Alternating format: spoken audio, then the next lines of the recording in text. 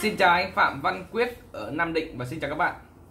Hôm nay anh Quyết có đặt hàng với mình là một bạch hạ áp giảm áp bút DC lên DC đầu vào là 12 đến 75V DC và có thể hạ xuống 2,5 đến 50V DC dòng điện làm việc tối đa là 25A và công suất tối đa là 600W thì giá sản phẩm hiện tại bên em đang bán kèm tiền ship khai nhận được hàng sẽ bao sẽ là 300.000 đồng chẵn.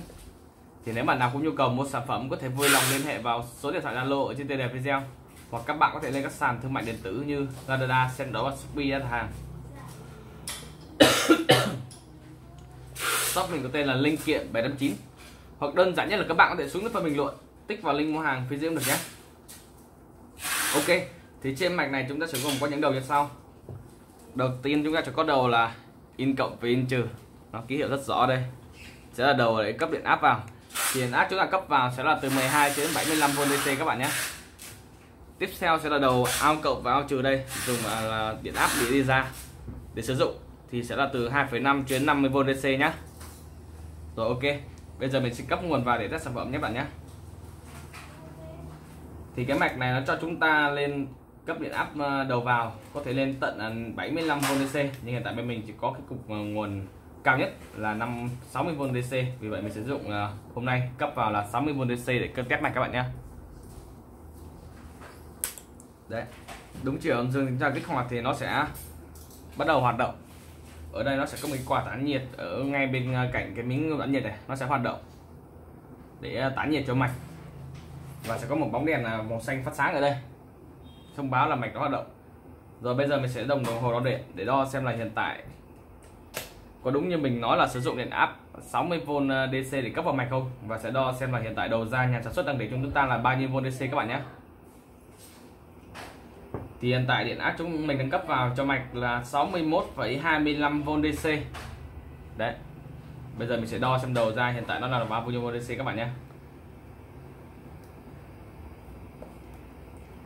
Thì hiện tại đầu ra của chúng ta nhà sản xuất đang để mặc định cho chúng ta là 12,86V DC đấy. Và để có thể thay, điều chỉnh thay đổi được điện áp đầu ra này chúng ta cần đến là một con tô vít hai cạnh nhỏ thay đổi ở một con biến trở màu xanh nằm ngay bên cạnh đầu ra đây. Nó sẽ có một cái nút màu vàng để chỉnh bằng à, tôi biết hai cạnh này. Chúng ta vặn theo trên cái đồng hồ. Như thế này nó sẽ tăng lên. Đấy. Và ngược chiều kim đồng hồ nó sẽ hạ xuống.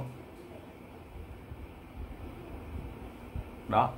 Và có thể tăng lên tối đa là 50V DC và hạ xuống tối đa là 2,5V DC các bạn nhé.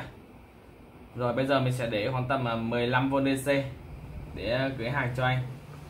Thì đến lúc à, nhận hàng anh sẽ chỉnh theo nhu cầu sử dụng của mình.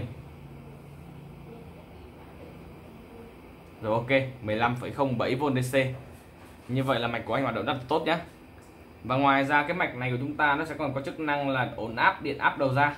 Thì hiện tại chúng ta thấy đầu ra đầu vào đang là 61,27V DC và đầu ra em đang để là 15,06V DC bây giờ em sẽ chỉnh đầu vào xuống còn khoảng tầm 30 VDC chẳng hạn. Đấy 30,4 VDC em sẽ chỉnh xuống 30,4 và hiện tại anh có thể thấy là đầu ra nó vẫn đang là 15,07 VDC nhưng mà khi đó, trong khi đó thì đầu ra thì bên mình em em đã thay đổi rồi. Xuống còn 30 VDC thôi. Đấy 30,35 VDC thì nó đã thực hiện tốt chức năng gọi là ổn áp điện áp đầu ra. Và anh lưu ý là điện khi anh dùng ờ, chức năng ổn áp này thì bắt buộc đầu ra, đầu vào. Chúng ta phải cao hơn cái đầu ra thì nó mới có chế độ ổn áp để áp đầu ra anh nhé rồi, ok, như vậy là mạch của anh hoạt động rất là tốt.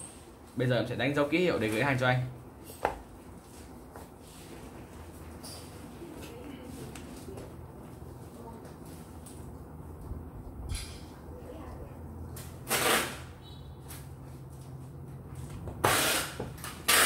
Đây là ký hiệu của văn.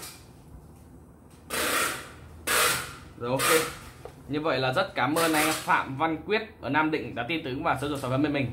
Cảm ơn các bạn đã theo dõi video. Xin chào và hẹn gặp các bạn ở những video tiếp theo.